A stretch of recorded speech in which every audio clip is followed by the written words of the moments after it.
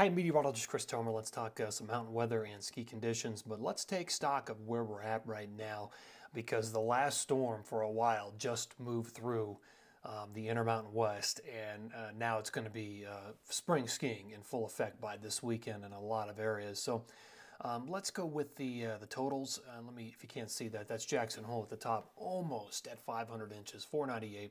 Grand Targhee at 452, Alta at 432, and there's Revelstoke at uh, 369. You can see the other places on the list. And actually, we added some very nice snow in Colorado last night and early this morning, and it continues lightly up there.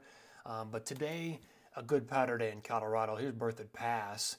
And Berthoud Pass is one of the uh, more popular backcountry uh, jumping off points here in Colorado. And we got anywhere from five to eight inches of new snow at most of the resorts and most backcountry locations along the I 70 corridor. But that is Berthoud Pass right now. There's the storm. Look at the rest of the West, high and dry.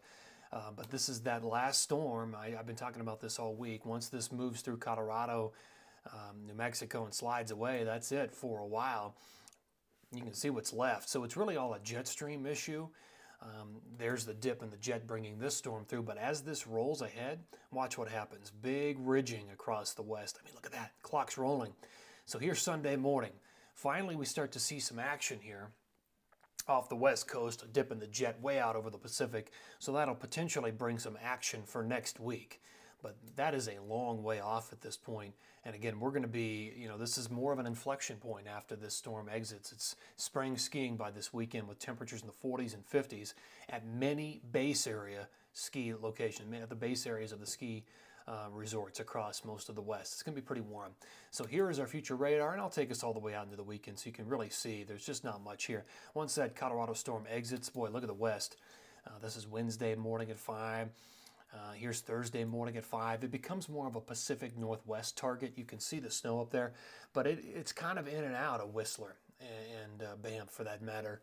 Um, so this is what, Friday at 5. There's a little southern sort of uh, wave that passes through southern Utah and southern Colorado, but there's not much with it. By Saturday morning, again, the flow is way up into Canada at that point, and here is uh, Sunday morning.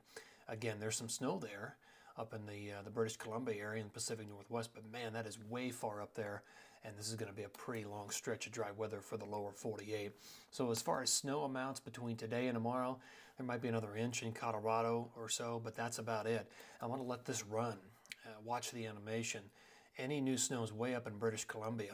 Uh, this is by Sunday morning. I mean, you might have a little bit of new snow in Whistler and up towards Marmot Basin, but uh, it's going to be a pretty dry stretch. So we'll see how this all shakes out. I'll keep an eye on it this week, and I'll probably do a, maybe another update or two. But always appreciate you coming back here and tuning in.